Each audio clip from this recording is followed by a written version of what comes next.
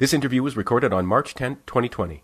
Hi, I'm Len Epp from Leanpub, and in this episode of the Front Matter podcast, I'll be interviewing Guy LeCharles Gonzalez. Based in New Jersey, Guy has over 25 years' experience in content strategy and marketing, holding many different roles at organizations from Writer's Digest to F&W and Digital Book World, and Library Journal and School Library Journal, amongst others. A former National Poetry Slam champion, he is chief strategist at Freeverse Media, a strategic marketing consultancy for brands and businesses, and he is the project lead for the Panorama Project, a fascinating research initiative looking into the impact of libraries on their readers, their communities, authors, and the book industry generally. You can follow him on Twitter at glecharles and check out his website at loudpoet.com, where you can find out more about him and his work and read his blog posts where he covers a variety of issues important to people with an interest in understanding with an interest in understanding the book publishing industry. You can also find the Panorama Project at panoramaproject.org and follow it on Twitter at panoramaproj.org. In this interview, we're going to talk about Guy's background and career, the Panorama Project, and address some of the big issues people are talking about in the book publishing industry world right now. So, thank you, Guy, for being on the Front Matter podcast. Oh, thanks, Len. Thanks for having me. That's a, actually, I'm going to steal that bio. You kind of knit a few things together that I always have trouble with. yeah, I try to do. I try to do a lot of research for these interviews, and actually, it's, it's funny. The this came up in a recent interview, but actually getting the bio right is one of the hardest things sometimes because people have their fingers in so many different pies. I always like to start these interviews by asking people for their origin story. So I was wondering if you could talk a little bit about where you grew up and how you first became interested in writing, and I guess uh, maybe how you got interested in poetry. Yeah, um, so two separate stories. Uh, the, the, writing origin, you know, starts way back as a kid. I grew up, uh, you know, was an avid reader, enjoyed reading. But, you know, that was the stereotype. I'd read the back of the cereal box. It, you know, anything that was in front of me that had words in it, I'd read. My uh, father worked for the New York Times. He was in um, advertising support for a long time. So the New York Times was a regular presence uh, in our apartment um, while my parents were together. So, you know, I grew up where reading was just a thing we did. There was nothing magic or special about it. It was just, you know, I was a reader. My parents were readers. Uh, my grandparents were readers. The writing came in, I forget the grade. I want to say it was third grade we had an assignment um, and we had to write a short story. And I didn't and waited till the last minute and was like, oh man, that, this thing's due tomorrow. What am I going to do? So I plagiarized a short story out of um, a book of ghost stories that I had picked up at the Scholastic Book Fair, and there was it was a story about I forget. It's one of the old you know urban legend classics, kids around the campfire, the voice in the woods. You know, today any kid pretending that that was their story, you'd be like, "Are you serious? Come on!" Um, but I changed the names. I handed it in. Teacher was like, "Hey, this is great. You're so creative." And I really liked the feedback I got from that. It's like, oh, wow, this is kind of cool. I'm going to write another book, another story.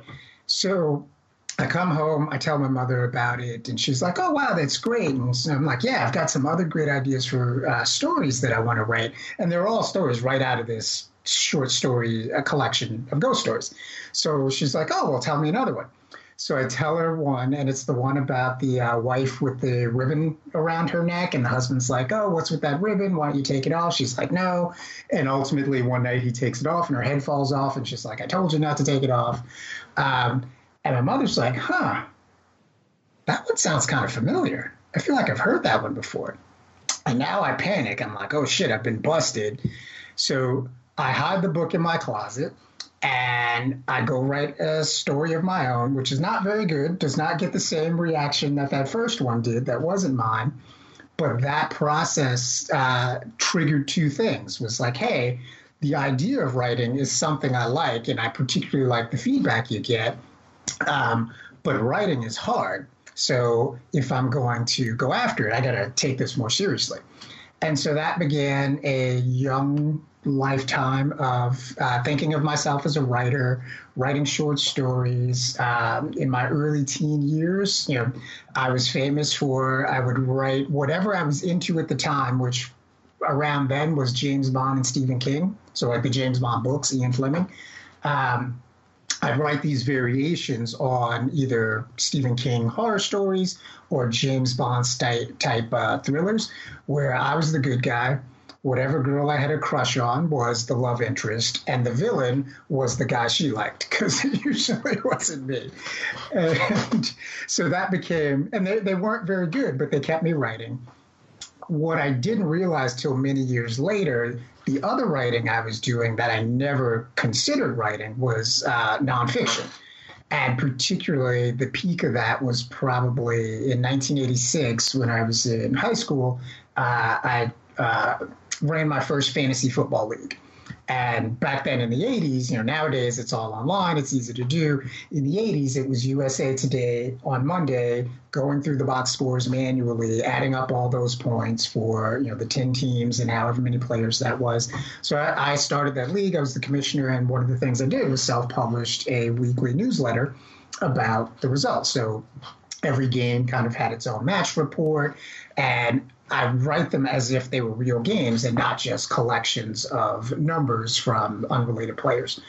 And so that was the first real instance of me writing in a nonfiction kind of way that I never thought of as writing. And actually was also my first experience in self-publishing, not counting, you know, I'm ignoring a whole comic book phase that I went through. That was a whole parallel track where I wasn't a good artist, but I drew well enough to tell the stories I wanted to tell in comics. So there's that whole underlying foundation of this uh, avid reader interest in particular types of uh, genres, that translating into writing I'd like to do, this experimenting with self-publishing, but you know back then having no idea that that's what it was called. And in 11th grade, I got a job at the library. So that was my that was my first real job. My job right before that, I was a paper boy. So books, publishing, media, kind of from my first uh, time getting paid to do something. First as a paper boy, then I was a uh, page in the Mount Vernon Public Library for a year, and that's where I really got to discover the breadth of uh, what was out there beyond the genres I was uh, most interested in. Um, you know, explored the stacks, learned, you know, didn't learn the Dewey Decimal System, but learned where the interesting things were in the Dewey Decimal System. And so that really carried over into the, over the teenage years into early adulthood. There was this belief that I was going to write a book someday that was what I thought. I was a fiction writer. You know, I was writing these short stories. Um, most of those short stories in later years were attempts to start a novel that once I wrote the story in my head, I'd have, you know, 15, 20 pages of buildup and then I'd wrap it up in five pages because in my head I'd finished it. And so, you know, the self discipline it takes to write a novel, I have so much respect for because I've never had that self discipline and that kind of segues into how I got into poetry. Um, in my mid 20s, the new uh, so Poetry Slam, the Nuyorican Poets Cafe, was going through its kind of second wave of uh, popularity and notoriety. Um, I had recently moved back to the city. I'd been in the army for a few years, came back to New York, and had heard about the New Nuyorican Poets Cafe for a while. Finally went, uh, it was actually the Friday after Thanksgiving, the year of 94. Yeah. Um, went to my first show. It was a Friday night poetry slam. Bob Holman was the host then. Um, I forget who the poets were, but they were all amazing. Like I was impressed by the entire experience the poetry on stage, the interaction of the audience and at that point, it was purely um, an experience to enjoy. It never crossed my mind at that point that, oh, hey, I could write poetry. Um, that happened three years later in the most stereotypical way possible um, for a girl. Went through a breakup. I've got some terrible poems that I, oh, the Nuyorican, they, they read poetry there. I'm going to go read these terrible poems at the Nuyorican. And so I went to their Wednesday night open slams, read a couple of poems um, one of them was halfway decent. Two of them were pretty terrible, but the um, the community there was very supportive.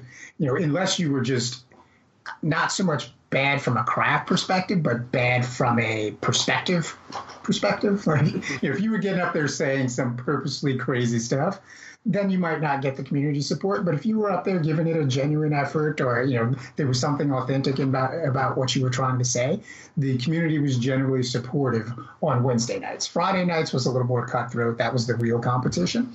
Um, but I lucked into a Wednesday night. The uh, the host by then was this guy Keith Roach, um, who had taken over from Bob Holman. He saw something he liked about me and invited me to do a Friday slam about let's say I think I had about two months notice. So now I was like, oh man, that the Friday slam is the real thing. I got to start you know, upping my game here and taking this writing a little serious. And sorry to interrupt, but could you explain a Yeah. little bit about what a poetry slam is for those who who, who might not know? Cause Yeah, absolutely. Yes, and not as popular as it used to be. So, uh, yeah. So, at its core, Poetry Slam is it's a competition that's not meant to be taken seriously, and so poets have three minutes to get on stage, read their poem. Um, over the years, different regions have adopted their own variations to the rule, but at, at the heart of it, you're performing your work it's a single piece. You've got three minutes to perform it, and then you've got judges in the audience who are generally randomly picked by the host ahead of time, and they're going to score every poem from zero to ten, like gymnastics. Um, and generally, there's five judges. You drop the high, you drop the low, you add the three points, and you get a best of thirty score. And then, depending on the size of the slam and how it's run, there's either a couple of rounds or there's one round and best score wins. Um, and at its core, it's really meant to a make poets a little more responsible for engaging their audience. It was partly a response to poetry in the 80s had kind of gotten very dry. Um, poets would get on stage, have their head buried in their book, and read their poems like this and expect applause after they were done. And it was a painful experience that, you know, almost became a stereotype, but was more or less the norm. And so the Poetry Slam started in Chicago. It was a response to that. And that subculture kind of bubbled up in Chicago, started to spread. Um, there was a nas- the first National Poetry Slam, I think, was in 90, 91. And I think there was four teams. By the time I went uh, on behalf of Nuyorican in 98, I think there were 24 or 28 teams. I forget the number. It had grown pretty big at that point. And that's the year we won. So that's the how I get to claim I was a National Poetry Slam champion. I was on the team for the Nuyorican that year. And you know the difference between your local slam, which could be anywhere from uh, we don't take this too seriously, it's a fun night, to reasonably competitive. The National Poetry Slam was kind of both of those uh, poles taken to their extremes. So this deeply supportive community, because at the end of the day, you know, four teams make it to the finals. So you better enjoy your experience there because you're most likely not even going to make it to the finals.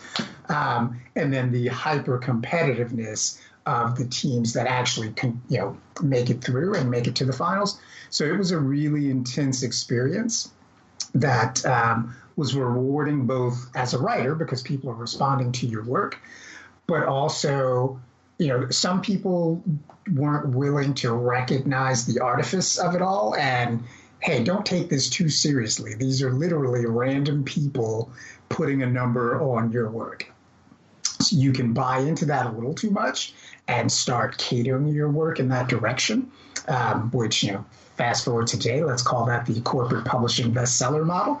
Um, or you can be true to what you're trying to do, and you may not get a 10, but you may connect with somebody in that audience who doesn't have a scorecard in ways that are going to be way more important and longer lasting than getting that 10 and winning. And that to me is the, you know, more community centric small press model. You know, just to connect the dots to publishing there a bit. But yeah, at its core, Poetry Slam was meant to be a way to make poetry more accessible and interesting beyond the audience that it had kind of contracted to by the 80s.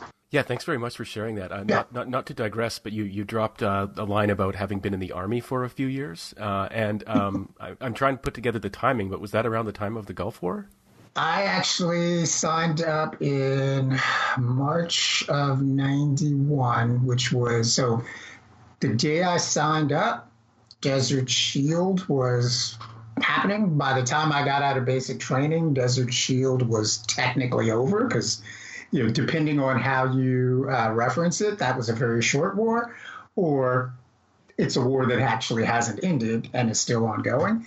And I defer to the latter only because people who signed up uh, years later still qualify for the same ribbon I got for service during that period because from the military's perspective that period actually hasn't ended you know the names of the wars have changed but that service in wartime you know basically from desert shield on US, the us has been in some form of military conflict ever since that's um, really fascinating, and it sounds like we could have a whole other interview about that. So I'm gonna I'm gonna uh, resist the temptation and, and and just just let it go. Uh, but thank you for sharing that. Um, and so you then developed a career, or perhaps in parallel to this, and you, I know I know you you um, you founded and hosted a poetry series in Union Square in New York City for a while. You did a bunch of other things, but you also ended up with a career uh, in in marketing and things like that. And how how did that happen? So uh, when I came out of the army, um, I moved back to this area. Uh, initially, uh, moved back to Jersey, stayed with my father for a few months till I found a job. The and this was back in the day where temp assignments were, you know, working as a temp was kind of a, a legitimate way to make a living.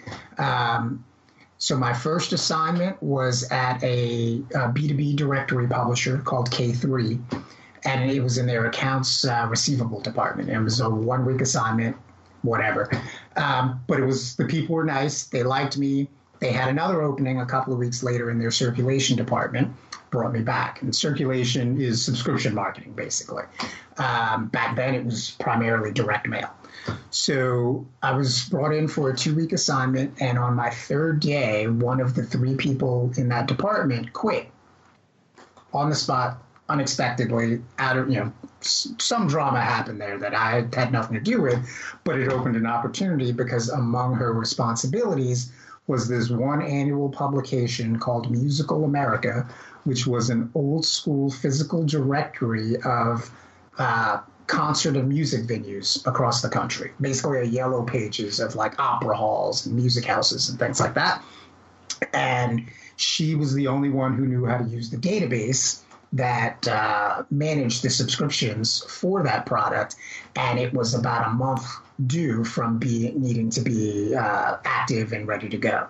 So I was at that point, was I, 24, 25? Um, because I grew up, you know, with, you know, millennials are considered the digital generation, which I think is nonsense. Like I grew up in that transition. You know, I had an Atari 2600, I had a Commodore 64. Like I experienced that transition from typewriters to computers, from telephones to mobile phones.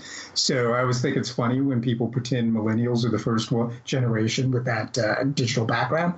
But I came into that role very comfortable with computers and in a department with two other people who were older not as interested. All of their subscription products worked with a third party who managed the subscription databases. So this was the only one that had an internally managed database on a program neither of them knew. So I was like, hey, job opportunity, I'll take it.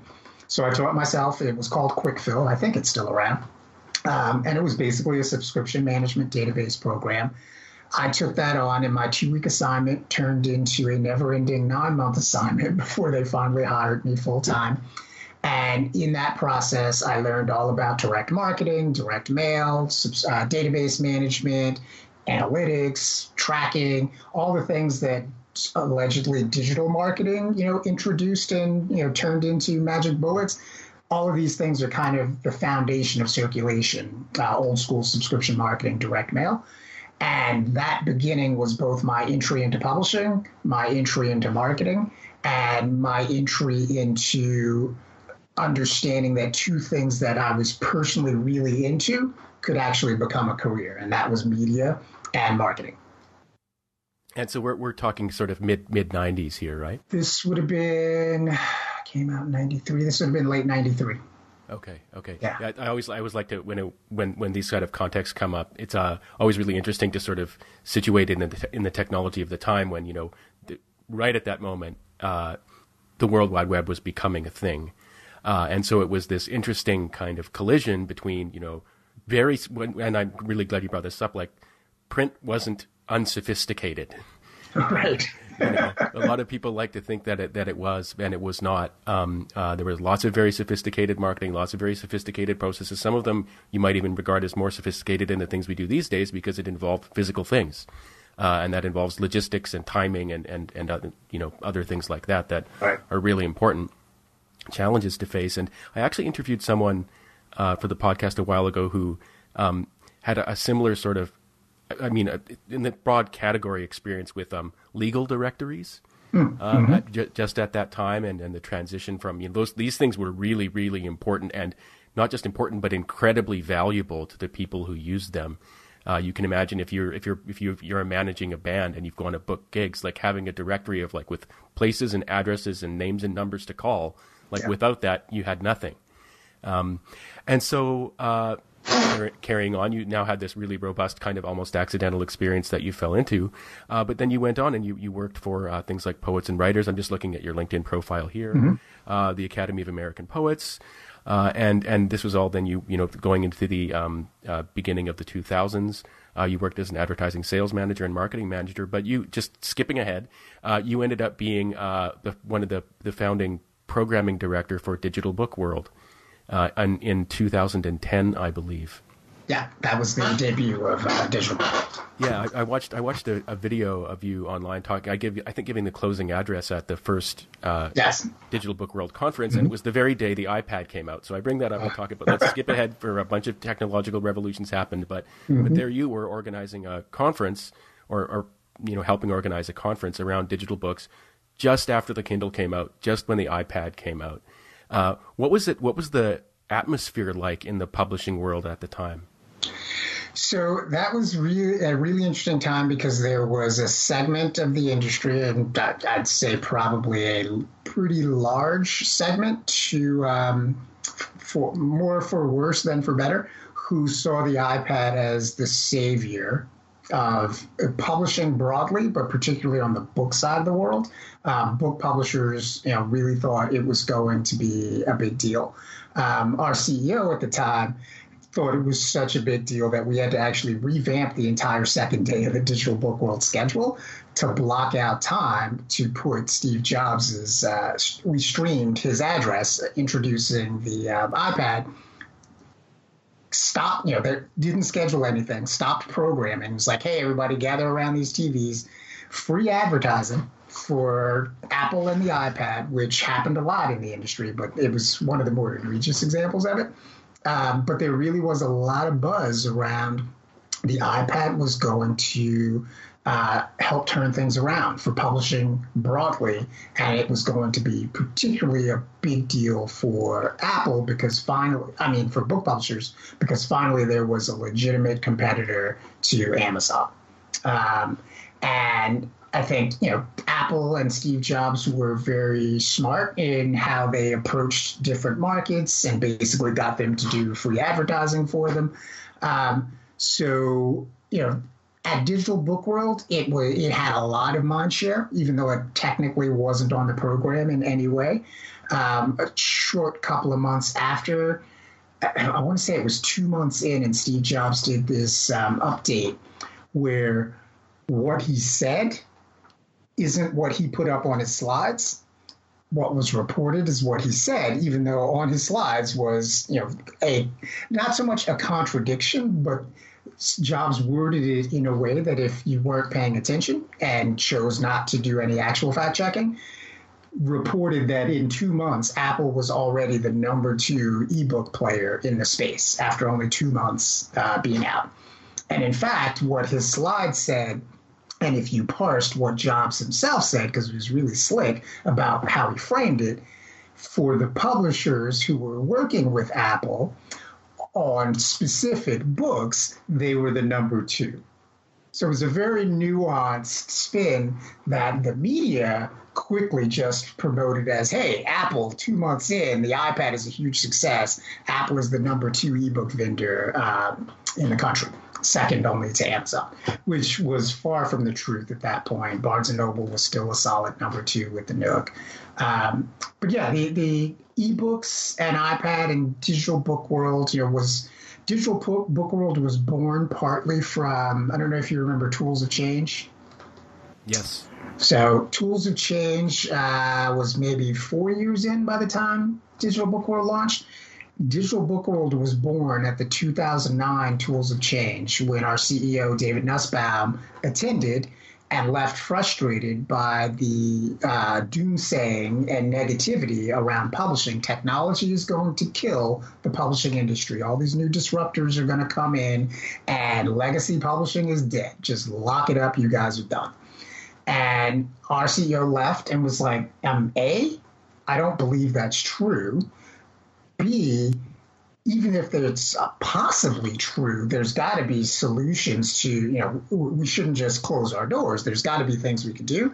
And this program didn't offer anything. It made the presumption that, hey, you guys are done. Here's where the future is. So he came back and was like, you know, this is ridiculous. Where is the conference for publishers to tackle these digital challenges? Um, it didn't exist. And so finally he was like, well, then fine, we'll do it. F&W was had events, had a lot of experience in producing events, but they were a a B2C uh, media company, books, magazines for consumers. They had no B2B footing at all. Um, I had B2B experience from prior companies, and I had started to develop my own kind of following, being just a critic of the media space in general. To this day, there are people who think they met me at Tools of Change 2009 in person we only ever interacted on Twitter. And I wrote a couple of blog posts back when you know blogs were a lot bigger than they are today. Um, but I met people on Twitter via the TOC 2009 hashtag that to, to this day they swear we met in person at uh, TOC 2009. So Digital Book World was kind of born from this sense of you know look, no question, digital is disruptive. There are going to be challenges down the road, but there's absolutely no way that there's not a place for quote unquote legacy publishers in this new world. And so the challenge is to figure out where those opportunities are, identify where those uh, threats are, to see what can uh, how we can overcome them. So that's how Digital Book World was born. And I initially was brought on uh, in the beginning purely just to sell sponsorship space um, because it was a new initiative. I was excited about it. And pretty early on, we got a lot of positive feedback from the publishing community that we were on to something. And I want to say in October, so we Digital Book World was announced in July 2009, and it was just a press release.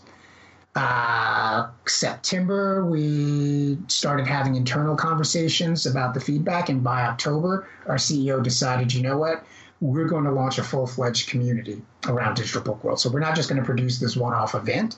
We're going to build something bigger around it in, in what then was the F&W community model. You know, media, events, uh, education, what whatever made sense for that particular community. And at that point, that's when I was uh, tapped to actually take it over and say, you know what, you're going to run this. From my experiences with Writer's Digest, some other internal experiences I had at the company, and helping drive some of our innovations. I was tapped uh, to be the public face. Shatzkin was brought in to be the program uh, chair and actually do the first year, 95% of that program was Mike Shatzkin. And it reflected Mike Shatzkin's worldview, which was back then very big six centric. And small, mid sized publishers and anything outside of core trade were curiosities but nothing to really be fully integrated because you know that was Mike's world. Big Six publishers. That is a from his own perspective. Those were his, that was his client base, so that's where the money was for him. Um, so what happened between year one and year two is we, a we realized for this event to be what we want it to be, it can't just serve the Big Six because that's even based in New York. You're only going to grow so big. You know, we could probably hold an event in New York that was Big Six centric and top out at four or 500 people at the max. If we didn't broaden it to uh, also serve small and mid-sized publishers to talk about some of the other challenges, not just be about ebooks, but talk about marketing challenges, talk about other channels, libraries, things like that. So that was the evolution between year one and year two.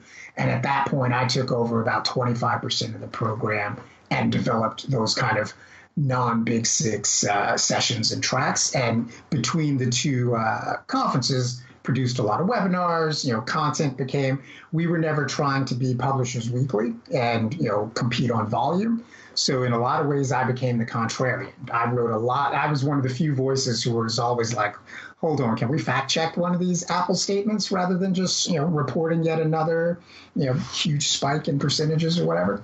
Um, yeah, there's there's a I mean there's it's there's so many threads to threads to pull on there. Thank you for sharing all that and, and for putting it so so so um, sort of compactly. But there's there's um, so for example, for people listening, uh, Mike Shatzkin is a publishing industry expert and consultant who we've had on the podcast before.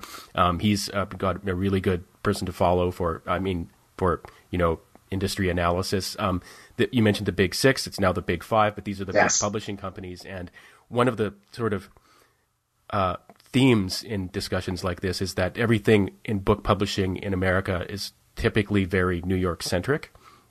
Um, actually, my co-founder Peter gave a talk about about Leanpub at Tools of Change in 2013 in New York. I remember being there at the time. It was very very exciting. Um, but there was, I do recall, uh, you know, it being there's this very there's this very big tension between sort of technology and publishing, which is something that if you're in the in the publish book publishing world, it's just saying that sort of like is a very overdetermined thing. Um, but uh, there is this inherent tension, and and and always has been uh, for some people, particularly the big six, which inherited this huge legacy industry based on print books. And the time that the times that you're talking about and the tensions that you're talking about were just huge, like earthquakes. Um, you know, in 2009 was I, I gather a sort of very tense tense year for the book publishing world. Um, things like uh, the Kindle coming out just I think in 2007 or 2008 or so uh, was like something that people were a lot of people were biting their nails about what what was going to happen.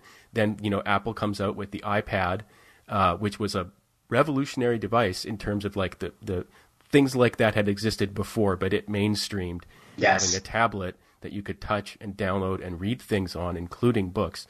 And so for, you can imagine the publishing world where like you've got huge investments in, in a, an industry that goes back centuries. And all of a sudden people can hold this thing in their, their hand. And, you know, speaking of New York stories, I was, I think it was the next year I went to Book Expo America. Um, and there was one session on self-publishing. Uh, and um, guy, headed by Guy Kawasaki. And uh, one of the, I remember, I, I always tell this story. I probably get it wrong in my memory, but there was this one packed session where there was um, this CEO of uh, Overdrive, Steve Potash, I think, mm-hmm. um, uh, the CEO of Simon and Schuster, I think the head of a big library association, and someone else. And I still remember Steve Potash just totally full of passion, waving an iPad in the face of the other people on the panel, saying like, "This is not a science experiment. This is real."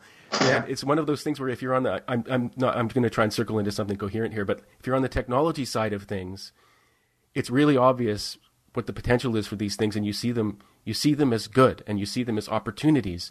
This is the future. The, you know, the future of publishing is going to include print. But aren't we lucky to live at a time when all of a sudden we've got all these other things we can do, like download texts, read them on screens, uh, you know, have the whole world available through one channel to sell books to. I mean, you know, but but there's this other side of things which to this day reacts with total dismay and incomprehension and um, uh, you know retaliation to these things that people on the tech side see as opportunities. But actually, and so, but one thing I really want because this is going to become something we talk about uh, later on in the interview, but I'm really glad you went into such precise detail about the misreading of Steve Jobs' statement, the misunderstanding, because this is a real, a really serious problem in the world of book publishing data reporting. Um, people get shit wrong all the time, and yep. it, it is very frustrating when you're in the industry and you you know you've got a bit of a you've got a bit of a data and analysis mindset uh, to see like the New York Times and the Washington Post and the New Yorker and Vox and everybody get it wrong all the time and the authors guild and i could go and you know like there's there's an organization in the uk which i forget but like people get it wrong all the time they get it wrong in very basic ways and there's just this inherent issue around data and analysis not only with book publishing but with libraries and things like that that i'm sure we're going to get into in just a few minutes. Um, but just just carrying on. Uh, and so after you uh, you had all this like pretty sophisticated experience with the cutting edge stuff, uh, and this is not to contrast it with what you then went into, but then you went to work for a company called Media Source and you worked on a library journal. Yeah, so library journal and school library journal are kind of the the main trade journals for the library profession.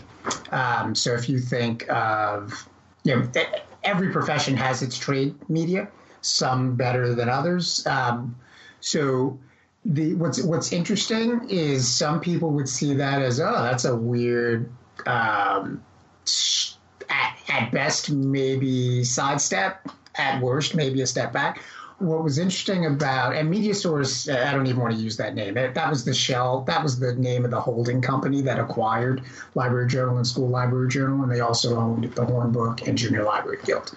So what I and LinkedIn just makes it difficult to uh, name the company because technically I worked for Library Journal, School Library Journal, and the Hornbook. Um, what was interesting about them, and I so I moved over to them after the second year of Digital Book World. The digital book world was starting to head into more of an event only model than I was uh, interested in. Like I enjoy events as being part of my platform.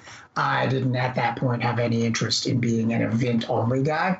And there was also some you know other events that were going to come on our plate that didn't drive revenue for us, but we were going to be responsible for. So I didn't want to deal with that. So the the move over to Library Journal, just for shorthand, we'll just refer to as Library Journal, um, was appealing for two reasons. Uh, between those first two years of Digital Book World, I started to learn a lot more about libraries and their place in the overall publishing ecosystem, and particularly their place uh, in the ebook ecosystem, which at that point was more or less an afterthought. 2011, um, neither Macmillan and I think it was Simon and Schuster. Neither of them were even making their ebooks available to libraries yet at that point. So the getting libraries on the agenda for the second year of Digital Book World was kind of a personal challenge of, hey, I think this is important. Through that process, I met uh, some people at Library Journal, started working more closely with them, and originally with the goal of making libraries a little more central to the Digital Book World platform going into year three. Um, ultimately, what ended up happening is I just went to work for them directly.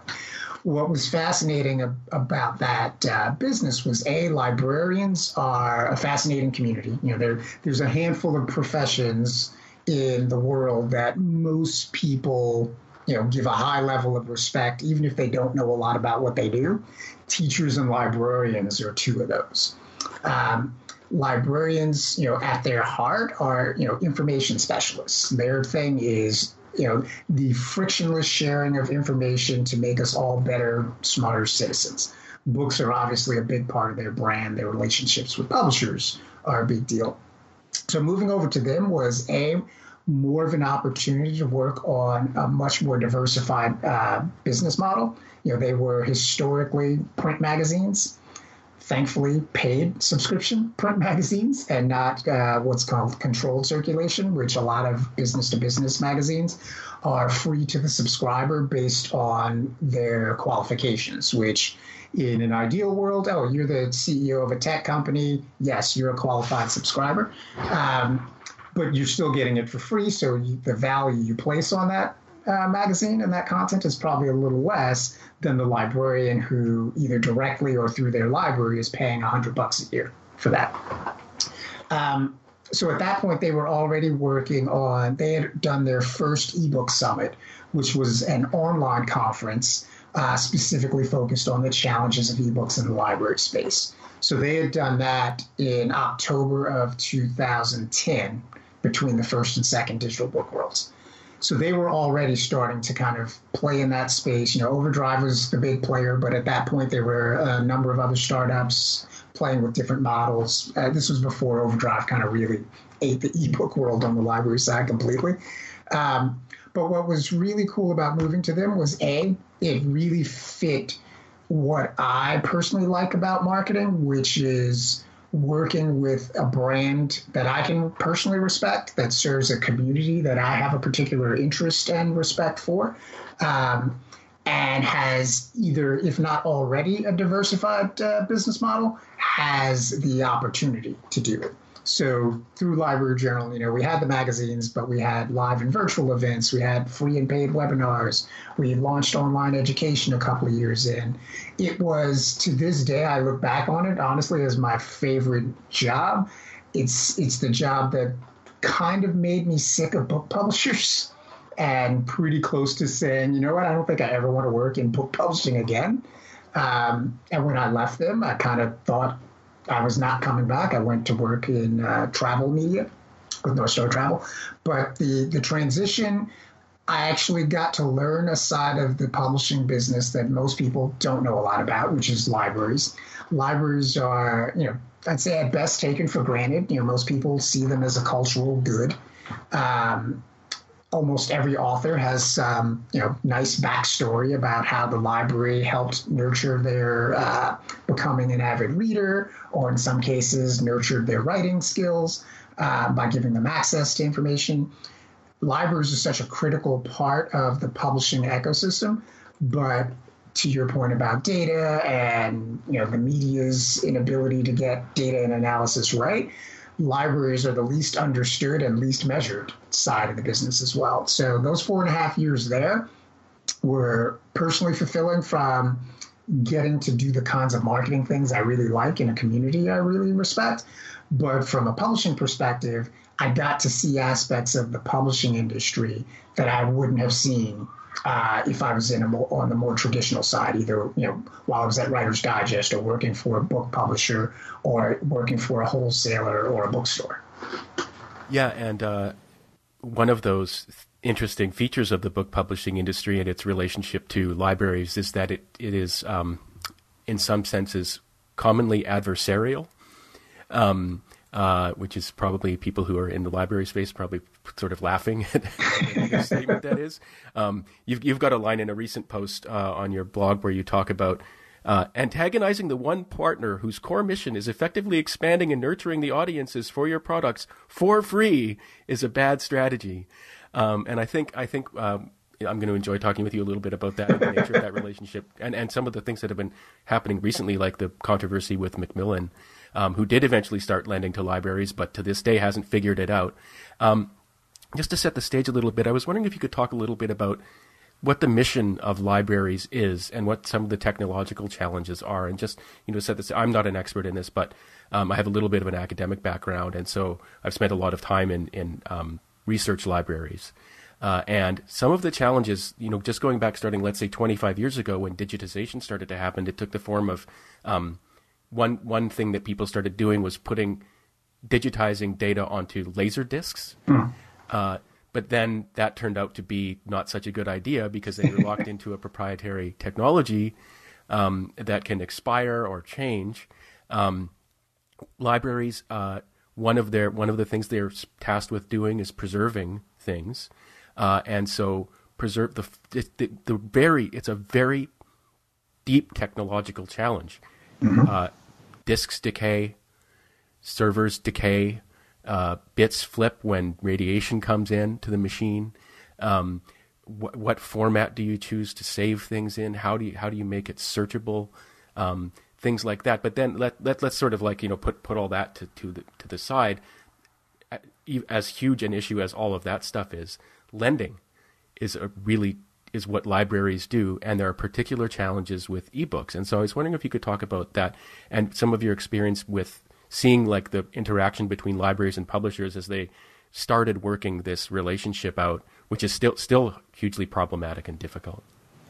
Yeah, so uh, so two caveats to start. Um, I uh, by no means position myself as an expert on libraries broadly. Um, and one thing I commonly see librarians themselves say when they're speaking on behalf of libraries is most librarians will also um, set the caveat of, I can only speak from my experience. And I say that because sometimes when we talk about libraries, similar to when we talk about publishing, there's this broad uh, sense of what that word means. But libraries aren't one thing. So, a you know, there's academic libraries, public libraries, and uh, school libraries. three distinct segments that, other than being libraries and broadly sharing a mission of access to information, their their business models, the way they're funded, the way they interact with their communities, the partners they work with, all very different across the board. And even an individual publisher will work with those three communities very differently. Terms aren't the same, et cetera, et cetera. Um, so, for the purposes of this conversation, I'm going to mainly focus on public libraries, um, partly because public libraries school libraries uh, are really important, but are probably the most under attack by, you know, let's call them market forces. School librarians are continually being let go. School libraries are being downsized. Um, so they're facing challenges that really have nothing to do with publishers. And ironically, in a, is serving the audience that's probably keeping commercial publishing afloat, which is kids. You know, you look at the latest numbers for 2019, kids' books are up, adult books are down. So, and if you know. Po- pol- uh, politics fatigue has set in, so even the big best-selling political books of 2018 didn't uh, carry over into 2019. So, from a public library perspective, you've got a couple of things. So when we talk about publishing, you know, there's the big five. There's big mid-sized publishers like Scholastic, uh, Workman, Sourcebooks, and then you've got this huge bottom of the period, small and mid, you know, hundreds, thousands of small and mid-sized publishers that are actually rarely ever factored into these conversations when we talk about publishing. Libraries are similar. There's there are public libraries which, at their core, all have the same fundamental mission, which is uh, access to information for their communities. And what that translates into from an acquisitions perspective, collections, you know, the, dig- the physical and digital content they acquire, books, magazines, newspapers, databases, all those things, um, that's going to vary community by community. So, a New York Public Library, a Multnomah County Library, a Nashville Public Library, those are big library systems that are uh, their needs, their budgets, the way they interact with their communities are going to be very different from, say, my local uh, library here in Bloomfield, New Jersey, who doesn't even have their own ebook program. They're part of a statewide cooperative uh, consortium that uh, buys ebooks, and then the various library systems that are in that consortium get access through that access point. So that's one of the first points about libraries that most people don't understand when they talk about publishers and libraries and John Sargent kind of ran up against this, you know, face first, most recently with their new terms. He talked to some big libraries, he talked to some small libraries, and what he ultimately found was there is no one solution that's going to make them all happy. So we're just going to do this. And we know it's going to piss some of these guys off. We think it's going to make some of these guys happy. But that was a, um, a core example of there is no single example of what a public library is like. So, from a publisher perspective, um, most big, all the big publishers have dedicated library marketing departments, which that in itself tells you something about the importance of libraries.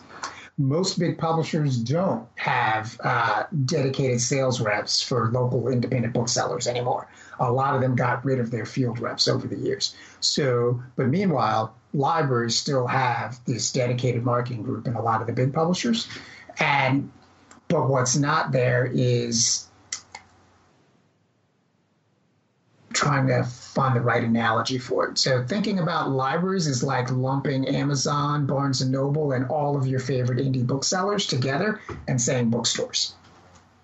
If that uh, makes sense. Got it. Yeah, no, that totally makes sense. And thank you very much for sharing like all that information in precisely that way because getting a sense that like it's very complicated and it's not there's no comprehensive understanding that maybe any one person can have is actually a really important thing to understand about this. And, and it is part of the reason that the reporting on these things is often wrong because people want to use a term like libraries and, you know, give the impression that by saying that word, it's well, this is, this is well, a well understood unitary, you know, sort of self identical thing. But right. actually, there are lots of different things going on with li- there are lots of like internally to the library space, but then the way the rest of the world interacts with libraries depends on the type of interaction that the you know on both sides. And one of the really interesting tensions in understanding libraries and how they work is that libraries often have a kind of public mission, especially specifically public libraries, publishing companies have a private mission, which is to make make a profit. Yeah. Um, and uh, it's one of the things that makes it an inherently difficult sort of multi-dimensional space to understand. I interviewed someone for this podcast a while ago named Rebecca Giblin. I don't know if you've heard of her. She's she's a professor at Monash University in, in Australia. She's got something called the e-lending project, um, where what she's tried, she's led this project where people are trying, they're just trying to figure out how many books from different publishers are being lent out and in what way by Australian libraries.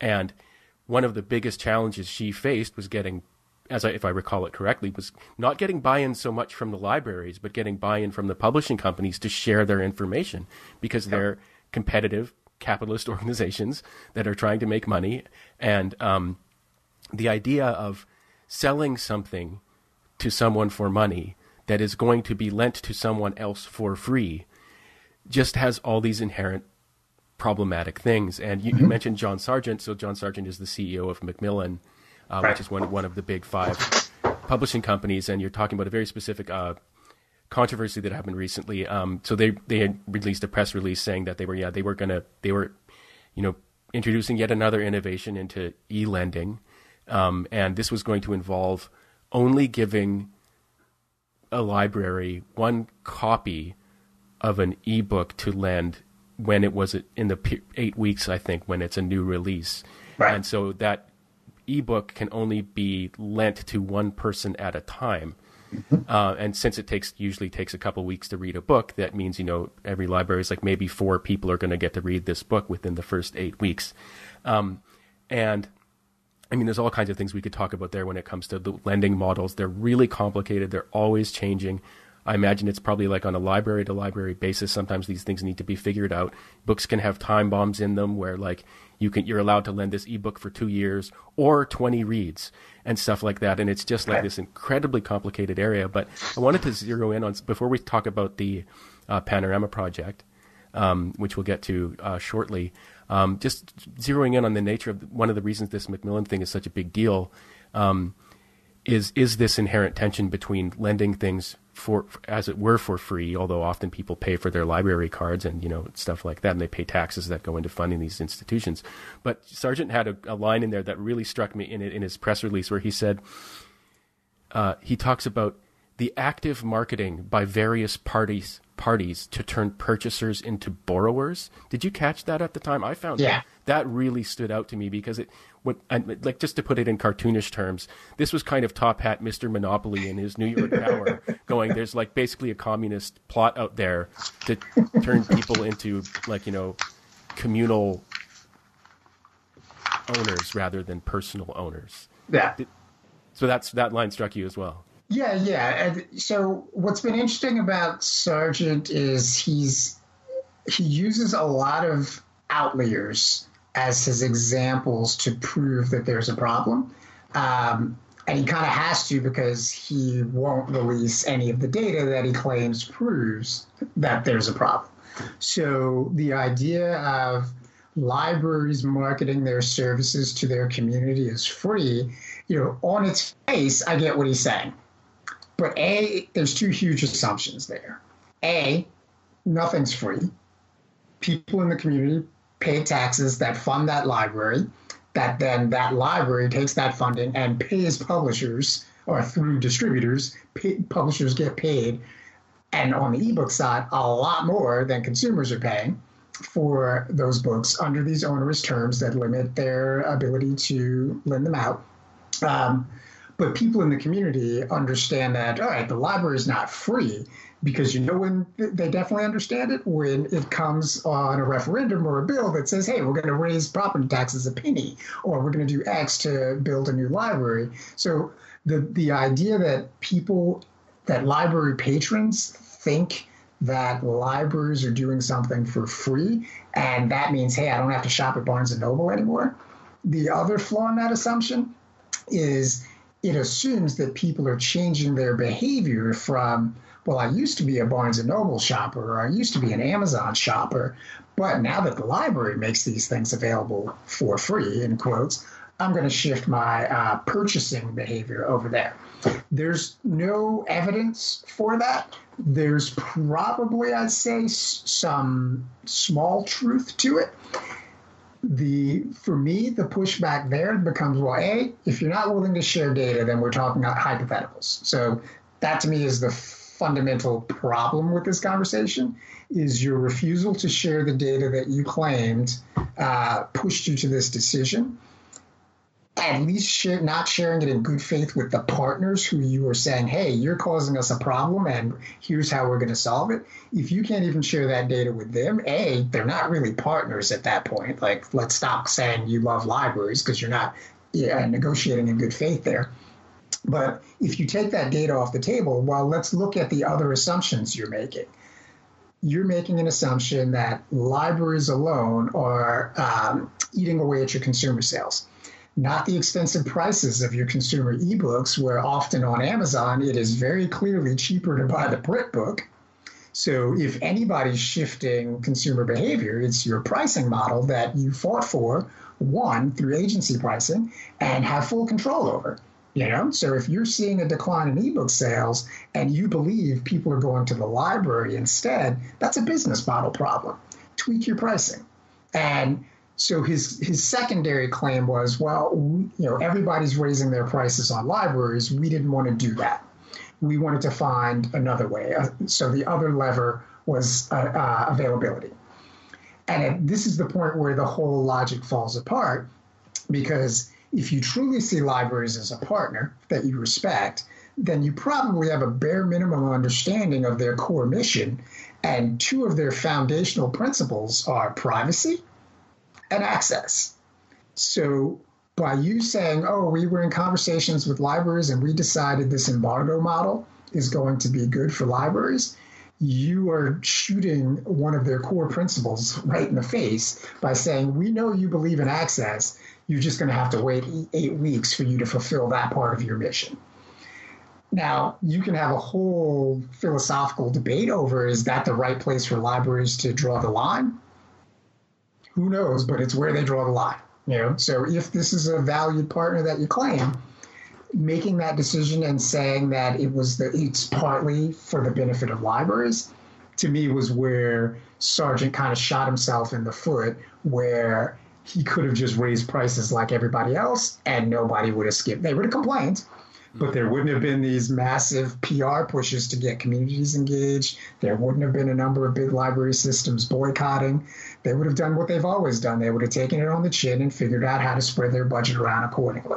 So there was a real miscalculation that came from a fundamental misunderstanding A, of what libraries value most in their mission, and B, this assumption that consumer behavior is as simple as oh well i'll just go to the library.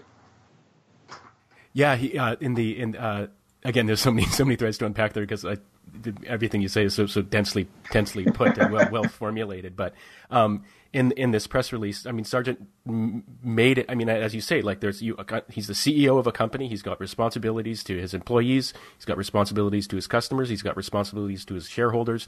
You know th- this is a very serious and important and not not i mean from not necessarily an inherently bad kind of project to be engaged in. Mm-hmm. I'm part of a I'm part of a capitalist enterprise myself, uh, but when you go and say sarcastic things, um, i have actually got the press release open here, but he says like, basically like, turns out, oh yeah, it seems that give. Oh, I'm just quoting here and again, it's it's sort of remarkable because he made it personal, right? Uh, he goes, "It seems that given a choice between a purchase a purchase of an ebook for twelve ninety nine or a frictionless lend for free, just dipping with sarcasm, he says the American ebook reader is starting to lean he- is starting to lean heavily toward free, and it's just like the as you as you point out in some of your, and you pointed out in a, an article you had in Publishers Weekly recently, there are 16,000 public libraries in the United States. They have a 1.5 billion dollar acquisition budget.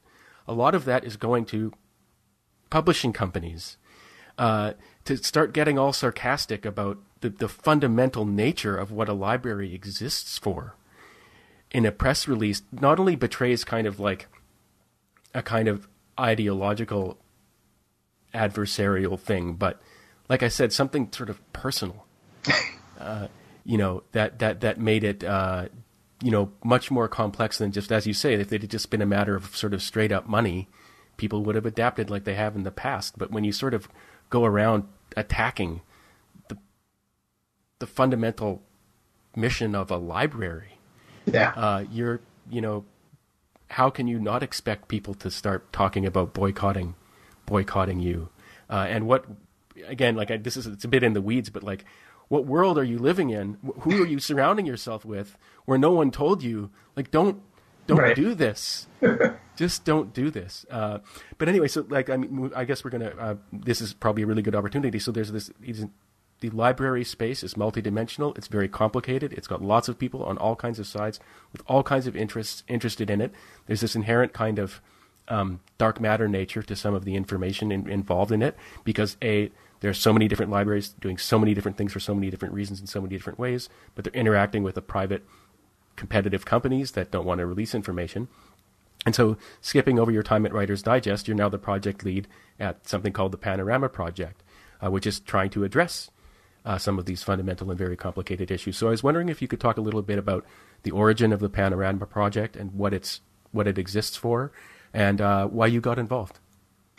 Yeah, so the Panorama Project uh, was first conceived in 2018. Um, Steve Potash and Overdrive uh, had convened a few other industry members, I, I, think somewhat from seeing the writing on the wall. You know, that uh, new term, publishers were all in the process of developing new terms that would roll out in late 2018 into 2019.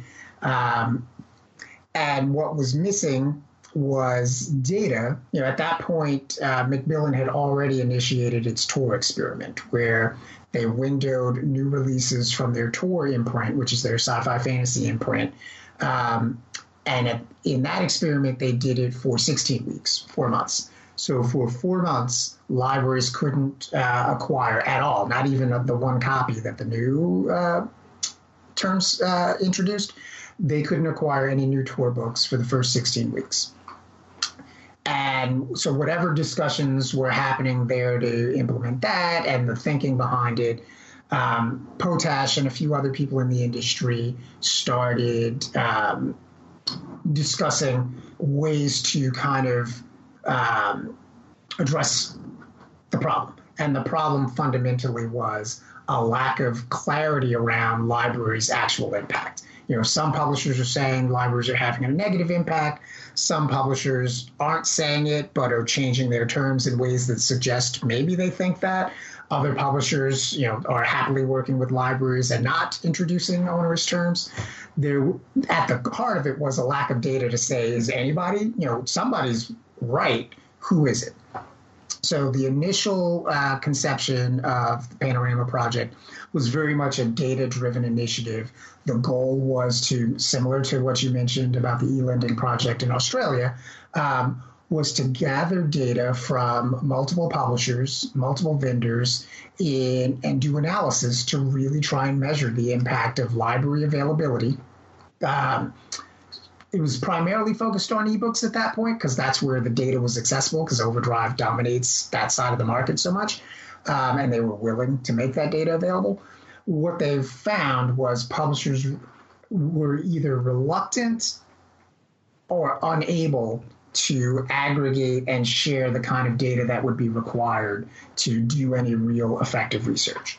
So while they were kind of working through those kinks, trying to figure it out, um, they were able to conduct a few title level experiments that, at least anecdotally, showed hey, given a focused marketing effort centered around libraries, where you're actually making the library freely available to everyone without restrictions for a limited period of time and all the promotion that comes around with that. Not only was there a positive impact on ebook sales, there was a positive impact on print sales as well, both in libraries and on the consumer side. Granted, those were anecdotal uh, initiatives that uh, had a heavy marketing element attached to it, which the message to me there is hey, you know what? If you're better at marketing, you can improve sales on your books. Like that's the heart of that message to me.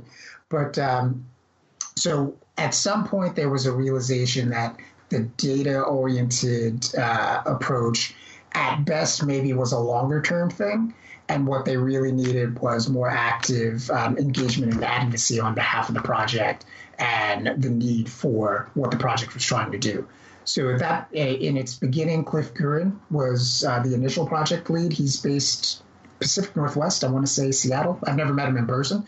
Um, he was the initial project lead one thing they were looking for was someone closer to New York who could, you know, at any point go into the city, meet directly with publishers. That's particularly difficult if you're coming from the West Coast.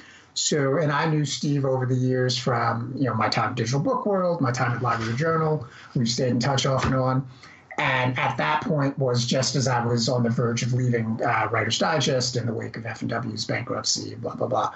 So the timing was kind of perfect. Uh, you know, my background being more of a, publicly outspoken figure, my proximity to New York, the desire to focus more on advocacy and engagement, kind of made me a good fit and you know my personal interest in the space my interest in data marketing analysis all those things made me a good fit for it initially, you know, I started last July and it was supposed to be a quiet summer in publishing as I eased my way in. And two weeks after I start, Macmillan's new terms are announced and everything blows up. And I've been kind of running ever since. Yeah, that's that's really fascinating. That that shift from uh, sort of a, a strict, a more strictly data focused thing to actual interactions. Um, and I think this is reflected in uh, some of the work you've been doing on what's called a reader's advisory. Yeah, so the Readers Advisory Committee, you know, I have to give Cliff and uh, the the committee that's around that full credit for that. They that was one of the initiatives done uh, implemented during the first year. And what that was was a to there was a survey done of librarians to understand the various readers advisory activities they do and don't do.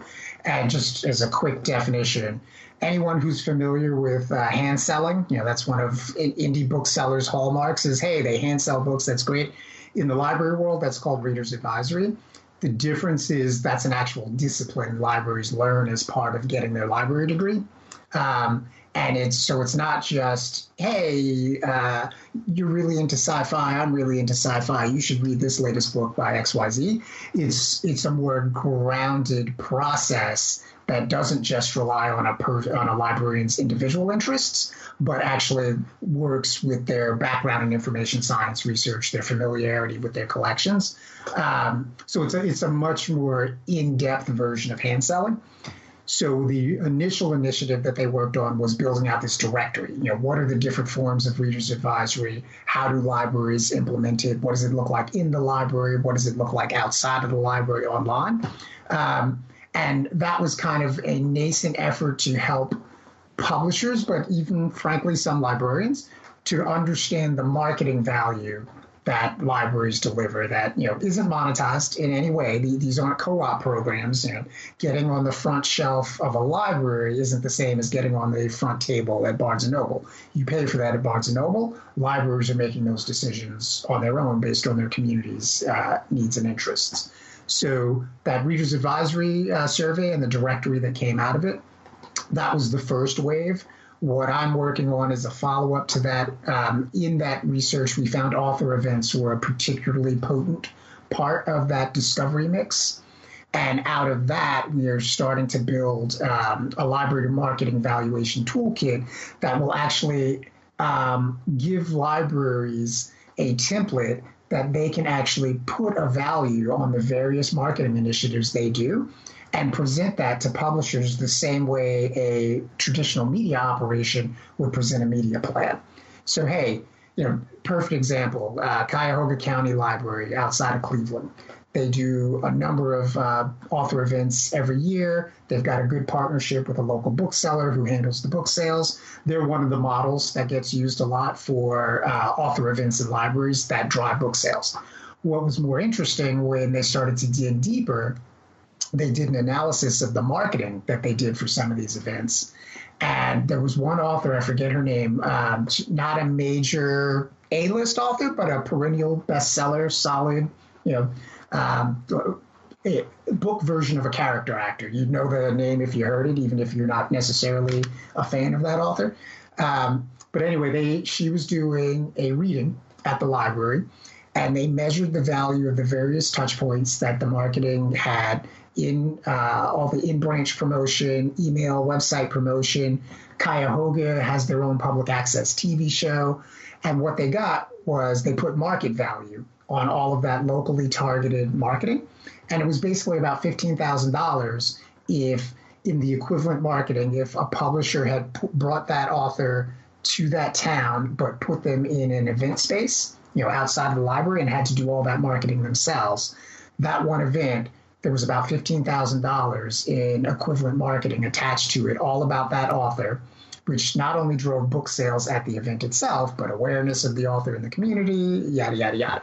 So, what's, what's really important about that is your average mid list author, you know, not, not your big bestseller who gets the big banners at BEA, but 95% of the books published by publishers on average, they might be getting five to ten thousand dollar marketing budgets. Most of that going to social marketing efforts, maybe email at the higher end. Maybe they're going to get some ads in some key trade journals. Very few are getting the New York Times or New Yorker ad, anything like that. You know, so your your American Dirts that got like the full court press, those are your exceptions most of your most of these books are getting ten to fifteen, uh, five to ten thousand dollars marketing budgets across the board, not specific to libraries, across the board. So if a single library can deliver $15,000 in marketing value for one author for one event, what are 16,000 libraries potentially delivering for publishers across the country for the various books that they're promoting into their communities? And is this specifically the the, um, the library marketing valuation toolkit? Yes. Yeah. Right. And is this is this something that people can can download and use if, for any librarians listening? If you want to let people know how much value you're uh, giving to the community and the industry. Uh, not yet. We're still developing it. Uh, my goal is to have that uh, by late April. It should be available. Yeah. Yeah, it's uh, it's just the work the work that you're doing is just so important, and it, it's inter- it's just one of the things I found so fascinating researching for this interview was you know. Um, I mean, you, you point out in various places that there hasn't really been a lot of research done in the last five years on, on kind of all of this. Um, and uh, although there are, you know, literally billions of dollars at stake and there are tens of thousands of organizations all over the place, we just don't, it's all a big black box. Yeah, what, what's fascinating to me is, um, as, as so because my initial background in marketing was not from the book side, I, I came to the book side of uh, publishing from the broader media side, the magazine world. As a general consumer, you know, I play video games. I'm an avid uh, movie fan. And, you know, as a kid, I was like fascinated by the USA Today's ratings charts, you know, box office mojo. I was kind of annoyed recently. They've uh, paywalled a lot of their box office data. Like, I'm a geek for data. Book publishing is the most opaque media industry of them all. Like bestseller lists are meaningless. You know, if mm-hmm. there are people running around calling themselves New York Times bestsellers because they hit the list once, maybe in the seventh spot, dropped off immediately, but they're a New York Times bestseller alongside Michelle Obama, whose book is still on the bestseller list, know? And those no, those those rankings have no meaning because there's no numbers attached to it. So, given the time of year, the number one New York Times bestseller might have sold 5,000 books, might have sold 50,000 books. The, that that opaqueness is purposeful I think. A, you know, Amazon drives a lot of that. Amazon refuses to give any data on anything unless it, you know, serves their specific purposes. So there's a lack of transparency in the book publishing industry across the board when you compare it to other media. And then when you get into libraries, you know, now it's a black box inside a black box when it comes to figuring out libraries. Not so much on the ebook side because uh, Overdrive is reason, you know, as much as any company is willing to share data. Overdrive is reasonably willing to share data in ways that uh, an Amazon isn't. And because they're such a big part of the library ebook marketplace, their data on its own has some meaning. Where there's a complete lack of transparency, and this isn't even pers- uh, purposeful. I think it's structural. Is on the print side. You know, libraries spend more of their budget still on print than they do digital, even though all this conversation is about digital. Um, but what uh, what's a big unknown is you know how many copies they buy, or you can know. That's a knowable number that isn't typically reported anywhere. And it's one of the things I pointed out in the PW piece is let's start there. How much revenue do libraries actually drive, like directly? How much money are they putting in publishers' pockets through their direct purchases? Forget about you know perception of lost revenue from lending and stuff. Just off the bat, how much money is that? I, I've heard anecdotal numbers from companies as high as 10% to, I'd say, on average, I hear 8 to 10% uh, is what libraries drive for a lot of the big publishers. Compare that to independent bookstores, which you know the, the, narrative right now is you know they're they're resurging, they're coming back, they're such an important part of the ecosystem, and I personally believe that's true. Most publishers they're they're three to five percent tops of their revenue. So their value is less about their revenue than it is about a it's a bulwark against Amazon because you know God forbid the day Amazon controls the market any more than they do, that becomes a challenge for publishers. So publishers value physical bookstores, you know, both Indies and Barnes and Noble, and there's numbers that can be placed on that. Libraries I'm pretty confident represent a bigger percentage of publisher revenue than independent bookstores, partly because independent bookstores uh, are zero when it comes to ebooks. So the you know that side of the market, indie bookstores don't really play a role in, whereas libraries do, and it's been growing. So you look you look at you know the data that is kind of knowable. It's partly what has me say, you know what, if libraries are the problem in the way you see them, are they just a symptom of the actual problem, which is shifting consumer uh, behaviors and preferences? If you if if Amazon has done a really good job of making ebooks the preferred format for a lot of people, and you've decided you want to charge more for those ebooks than your print books, you've made a business decision to prioritize one format over the other. Now the consumer gets to make their business decision to I can pay $15 for that ebook or I can go borrow it from the library. So if there is a shift in if anybody is turning buyers into freers borrowers you know there's a more compelling argument that li- uh, publishers pricing models for ebooks are what's doing that not libraries successfully marketing themselves for doing what they've always done, making information accessible to their communities. Yeah, you're reminding me of a, a line uh, Nate Hoffelder, uh, the you know digital book reader um, uh, blogger, had a great line about the Macmillan thing where he said. I know that the legacy industry likes to tell itself comforting myths, but the idea that library ebooks affect ebook sales more than high retail e- ebook prices requires a unique level of denial. Yeah. Uh, it really gets, to, really gets, to, the heart of it.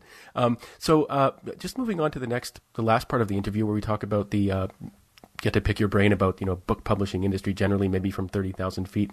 Um, you mentioned you're a gamer, uh, and one of the really interesting things about the book industry now is that there seems to be a little bit of a growing. This has always been true that you know there's been competition for time and eyeballs, uh, but people seem to have a growing understanding that. Um, or I think they do. Maybe I'm wrong about this. That you know the books are competing with with Netflix, and with games, and with all kinds of other things. Is is this is this something that the industry is having a reckoning with?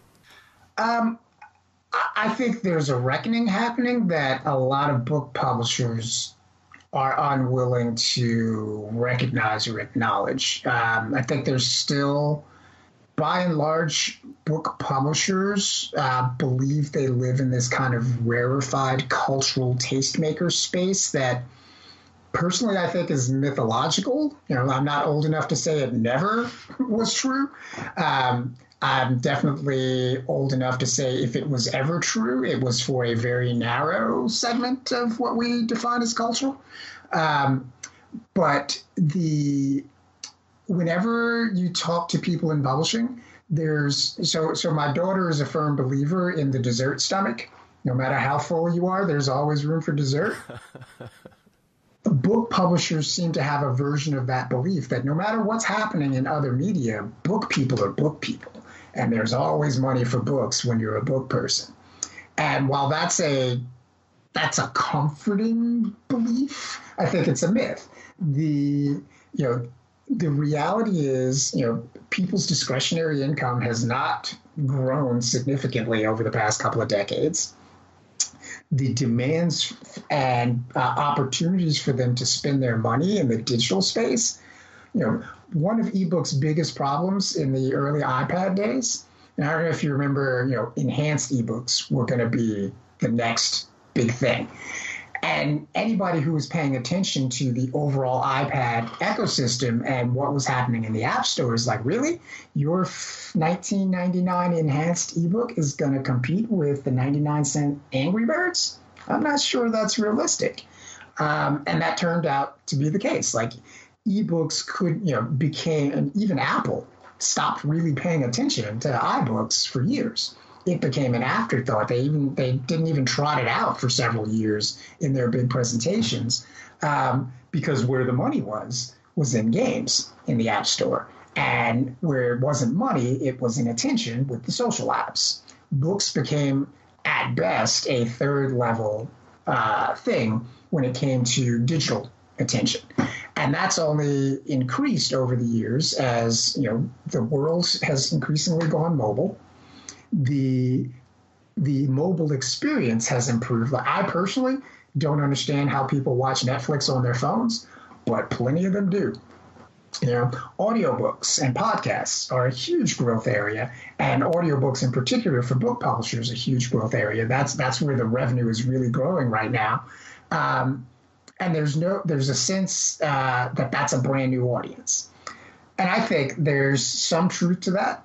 I think there are definitely some people who are coming to audiobooks who were not previously big book readers.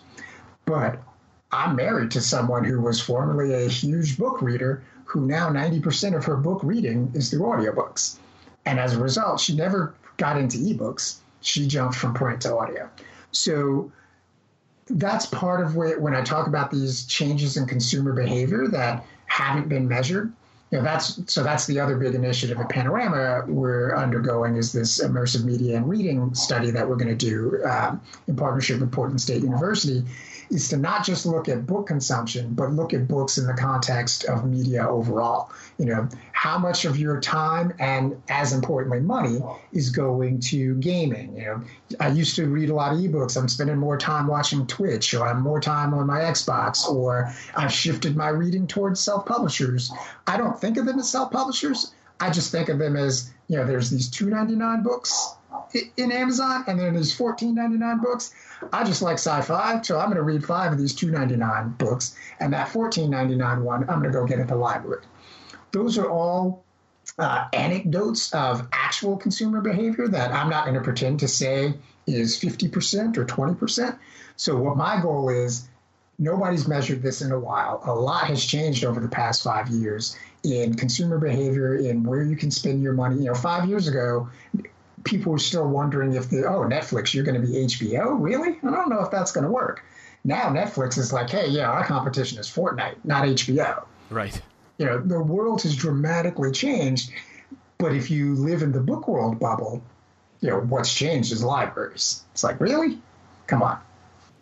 Speaking of the the book world bubble, um, for those for those who don't know, um, the book publishing industry is controversy ridden. Um, I think it. I think it is surprising to people who don't follow it, but uh, it, we're living in a particularly controversy-ridden time. Um, you mentioned American Dirt earlier. Anyone who's interested, I'll, I'll post a link to your lengthy blog post about about that, and and the, and, the, and the, uh, the very important links in that to all the other you know important things that people have written about it uh, because it's a difficult one to wrap your head around if you're not sort of into it. But you know, there's also been a controversy at the Romance Writers of America. Uh, there was a controversy with Hachette uh, just recently regarding Woody Woody Allen's book. Yeah. Um, and I was just wondering, while we've got you here, um, and you mentioned earlier that you're you're outspoken, so I really want to take advantage of the opportunity to ask you if you could talk about not necessarily, of course, like you know, go into the weeds about any particular controversy, but What's what's the bigger picture here? Is there is there what's the what's the problem? Um, so, you know, publishing has a couple of problems. I think the one that is currently flaring up in the examples you're referencing is is at its heart, it's publishing's long-term diversity problem, and that's not just racial diversity; that's diversity across the board. Um, but it's you know in the most recent examples, what you're seeing is you know in the Hachette example, um, the Woody Allen memoir being published by the publisher of Ronan Farrow's uh, big Me Too expose that would primarily focused on Harvey Weinstein. Like the disconnect that a company would think, hey, yeah, this makes sense to publish this book when this was our big book of last year, is representative of you know a, a version of so there's the broad book world bubble where you know everybody in the book world lives in this bubble where books are the most important thing. And then within that book world bubble is a larger subset, which is, and the important books are first and foremost the bestsellers, and bestsellers are defined by our core audience, which you know most publishers will say this in different ways, but my favorite framing of this, uh, Aya De Leon, uh, kind of, I don't, I won't say she coined it. It's where I saw it. Is it's the middle class white woman book club reader. That is corporate publishing's core demographic. And I want to be clear in corporate publishing versus, you know, what I mentioned earlier. You know, you've got the big five. Underneath them, you've got some significant mid-sized publishers, and then underneath them, you've got hundreds, thousands of small and mid-sized publishers. That group down there, to me, is the future of publishing because those are publishers who are keyed in on specific communities, specific genres, specific niches. They're not worried about national bestsellers. They're more focused on selling to the audiences that they have connections to, whether that's regional connections, cultural connections, genre connections. But you get into this corporate publishing where you said yourself earlier, you know, there's that business aspect. Corporate publishing exists first and foremost to make money. Cultural gatekeeping is a byproduct of a legacy that they, you know, like to have on their about page. But first and foremost, it's about uh, bestsellers. Secondary is let's win some awards too. Like that's nice. But first and foremost, push for the bestsellers. And so that push for a be- for a bestseller is a partly defined by well, what drives bestsellers? Amazon increasingly, but what drives that buzz that builds towards the bestseller that Amazon makes it easy to buy? Because Amazon doesn't create bestsellers. Amazon will perpetuate existing bestsellers. And if you are good at Amazon marketing, you might be able to piggyback and ride the uh, coattails of some of that activity. But you know, bestsellers are created in the pre-publication process. The publicity machine that gets you know your book on Oprah's radar, that gets you first on the list at the various trade journals, where you're definitely going to get a review versus maybe versus they're not even looking at your books. So there's this entire pre-publishing, uh, pre-publication machine that works in the big five's favor, first and foremost, because they're the big publishers. They've got the relationships, the levers to pull. You get on the big retailers' uh, radars. You, this is our big book. You get behind it with a big buy. Print runs determine, you know, advances in print runs determine, you know, the marketing push that's going to get behind a book. So by the time a book hits the bestseller, so much has happened that really the big five are the only ones who can, you know, manipulates the wrong word, have access to the levers to kind of create that pre publication buzz to land on the bestseller list week one.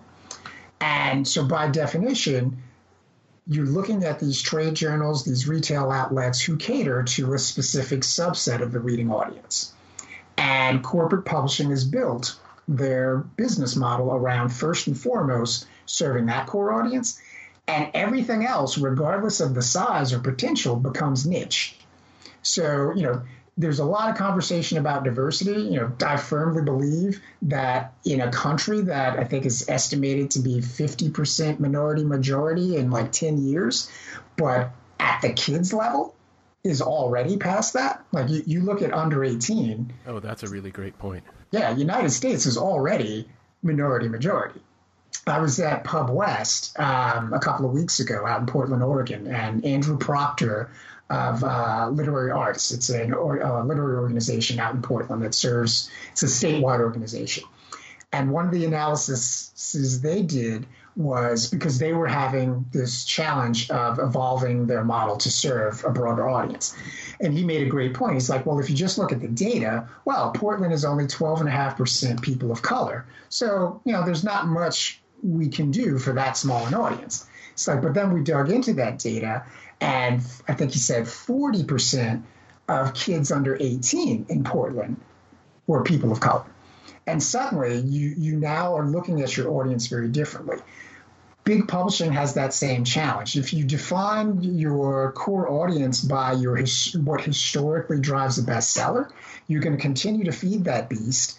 You're going to publish five times as many books into that channel because all it takes is one big hit. And you know, PRH, you know, much to some employees' chagrin, a few years back, they all got their bonus because of the success of Shades of Grey. Not not the literary masterpiece that won the National Book Award, but the allegedly lowbrow, originally self-published book that put money in every PRH's employee's uh, pocket that year because it was so successful. So publishers are driven by this bestseller model that prioritizes feeding that beast, and everything else becomes niche. So the I wrote recently about uh, The Witcher. So uh, Netflix just did the um, their series based on the novels. It's the I think this, the novels. There's eight of them that have been translated into English. Modest seller on the book side. A huge gaming franchise though. Uh, the Witcher Three sold 20 million copies in its first two years of release. Name a book that sold 20 million copies in its first two years of release you can't. It would have come to mind immediately if it existed because there would have been 50 press releases about it. And we, you, becoming Michelle Obama, I think, sold 1.8 million copies. So, but The Witcher was perceived as a niche IP by NPD when they did their BookScan analysis for the impact of the Netflix show on the novels. So, a franchise with 20 million sales of one uh, edition of the game in a category that has a behemoth like Fortnite, which in 2018 brought in more revenue than all but two of the big five on its own, that one gaming franchise. But books, the book world looks at those categories as niches. Romance is a niche. You know, not to you know uh, be generic and say only women read romance, but the U.S. is more than 50% women. How are you going to say romance, which is, if not the biggest genre category. It's, it's the second biggest, poss- possibly only behind thrillers. It's dismissed as a niche. So there are these huge categories of readers who are perceived as niche by big publishers because they don't fit that what they consider a core demographic the, the middle class white woman and book clubs. You know it's really it's re- thank you for sharing all that by the way. That's there's so much to, to think about there. Um, uh, one thing that you're calling to my mind is there's something really interesting because uh, you made a point earlier about how people often think some things are generational that aren't, like computers. Um, you know, and there's something about I guess I, I, don't have I've been trying to put my finger on it for a long time, and I don't have it. And this isn't going to be quite right, but there's kind of the book world gaze, um, where computers are seen as this like interloper that might just go away soon. um, you know, and and there's like I mentioned, you know, John Sargent getting all um, sort of personal and sarcastic about free versus paid. And and there's something I was just I was just reading a New York Times article by, by you know I think a millennial um, saying you know characterizing working from home as being like people kind of you know sitting around in their sweatpants and eating snacks and I'm I'm trying to put something together here that there's something there's something about a kind of mindset um, that seems I don't know if it's kind of institutionalized or what but it looks at things like diversity as like a fad Mm-hmm. It looks at things like computers as like a fad. And so there you can have people who are, you know, like you said, like, you know, The Witcher 3 sold 20 million copies. The, the, the video game world is bigger than the book world, as big as it is, uh, at, at, least in some dimensions of the book world. Uh, I think it's bigger than movies. Um, and yet you've got people who sort of set themselves up as being kind of hard nosed, watching the demo types, and they've just got these giant blind spots. Yep. And yeah, I don't. I, I guess I, I don't know what else to kind of say about it except it's this it's this very weird weird phenomenon, and it's not it's not unique to people of any particular age to just dismiss these very serious things that are happening that are really happening in our world as uh, as passing fads. Yeah, it's. I mean, you know, I compare it to, and um, I, I, hate this framing because it's kind of reductive, but it was ultimately effective. You know, a few years back when um, in the U.S. gay marriage was finally uh, gaining steam and was starting to be legalized in several states. What ultimately tipped the scales in a lot of states was the economic rationale.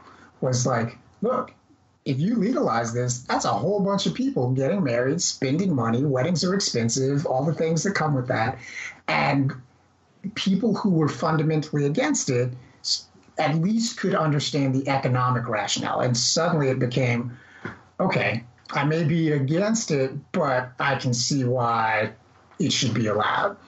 And for some reason, publishing has never quite been able to turn that corner when it comes to all these categories it considers niche, all these audiences that, you know, so many authors have stories of, oh, yeah, this is a really good book. We just don't think there's a market for it self-publishing has kind of been built on traditional publishing's blind spots for what they believe there isn't isn't a market for.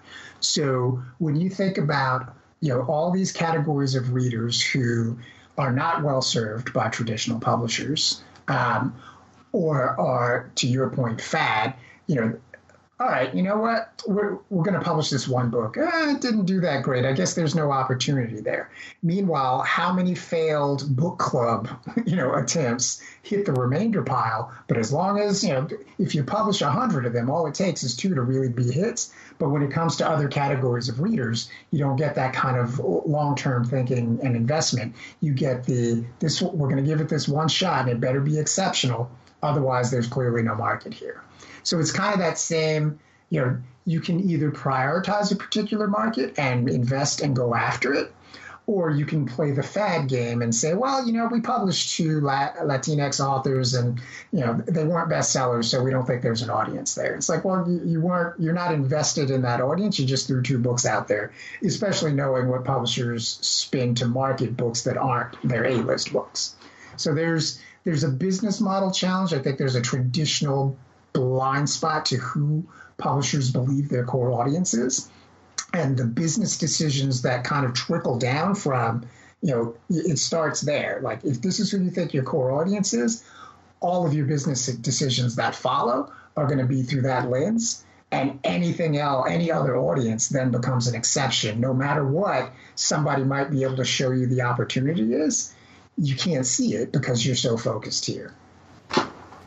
Well, uh, Guy, thank you very much for sharing so many uh, really amazing insights into so many different different things. Uh, uh we've reached we've reached feature length uh, in our interview, so I think that might be. Uh, they would, I, you know, we could I think talk for a long time.